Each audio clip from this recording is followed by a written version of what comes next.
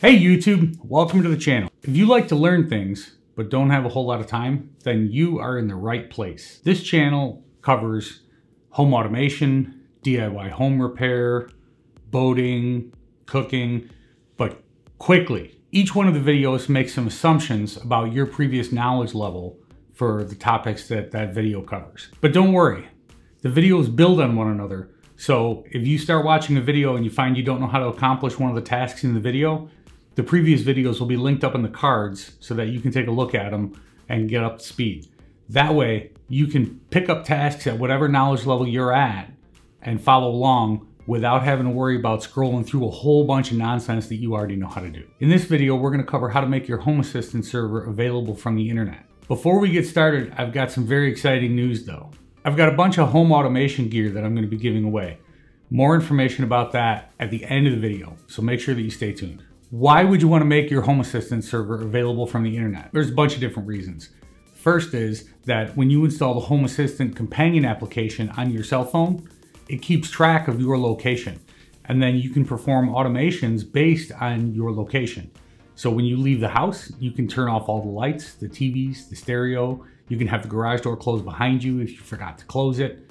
Then on your way back to the house, you can have it open the garage door for you so that you don't even have to push a button. It'll just automatically open. And then if it's dark outside, you can have it turn on some lights for you as well so that you're not walking into a dark house. Or if you want the music to be playing when you walk in, you can have it turn on the stereo.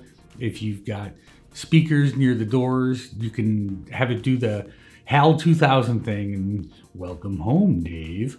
All kinds of cool things. But step one to that is exposing your Home Assistant server to the internet so that you can communicate with it when you're not home. Full disclosure, the method that I'm going to show you today requires that you modify your firewall to allow traffic in to communicate with your Home Assistant server. Due to the number of firewalls that are out there, all the different vendors, manufacturers, Ubiquiti, Netgear, Linksys, Cisco, Meraki, all, all kinds of them, I'm not going to cover that portion of it. There are some great tutorials on YouTube and Google that you can follow for your specific firewall to learn how to do that. Now, if making changes to your firewall doesn't sound like something that excites you or isn't something that you want to do, then make sure that you stay tuned for our next episode when we cover how to expose Home Assistant to the internet using a cloud service called Nabu Casa. So in this video, we're going to be covering how to do this using DuckDNS. Let's get started. All right, so let's head on over to the configuration tab and go to add-ons, backups, and supervisor. And then we're gonna go to add-ons, add-on store. And we're going to click DuckDNS, click install.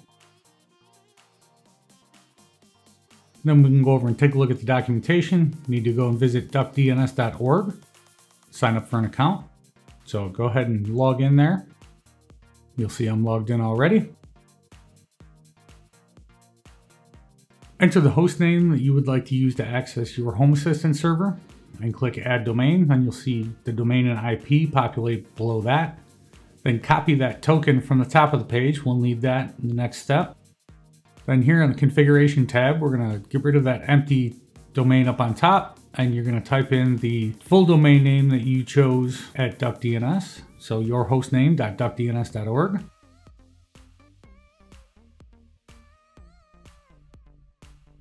Then paste that token in. Then under the Let's Encrypt section, we're going to change accept terms from false to true, and we're going to change the algorithm for the certificate. Then we'll go ahead and click Save. We'll go to the Info tab, we'll enable the watchdog, and then we'll go ahead and start DuckDNS.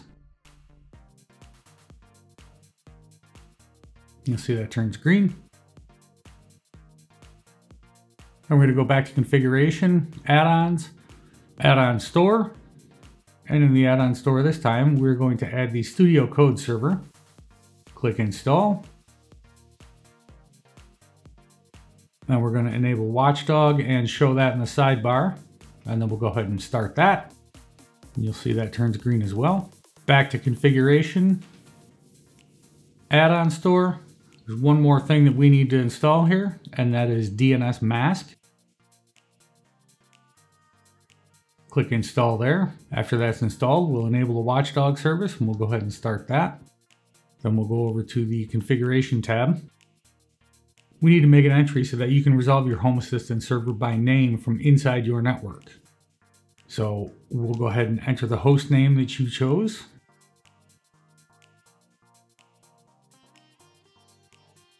And then we'll enter the internal IP address of your Home Assistant server. Once you've entered that, click Save.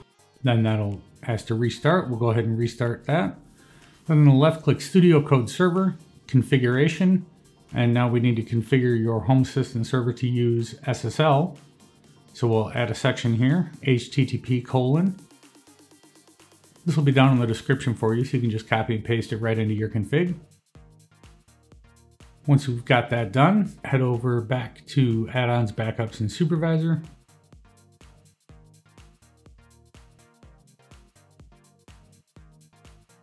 System, restart core,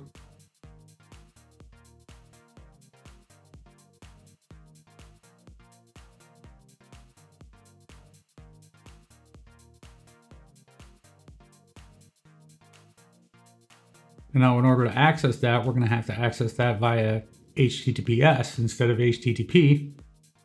So we'll go ahead and make that change in our browser. And here we get this error because we're accessing it by IP, not by name, but we're fine. There's the login. All right, so after you complete this, the last thing you're gonna have to do is go into your DHCP server setup on your network and change the DNS server for your DHCP clients to be the IP address of your Home Assistant server. That way, whenever your phone connects to your internal Wi-Fi, it will resolve the internal IP address for your Home Assistant setup so that it doesn't have any problems getting to your Home Assistant server. You'll also be able to access your Home Assistant server from your internal network by a host name then instead of IP address, and you won't get that error message that we just saw. All right, thanks for sticking around to the end of the video. And if you guys are here just to learn about the giveaway, then there are a couple of rules. The first rule is that you need to be in the continental United States.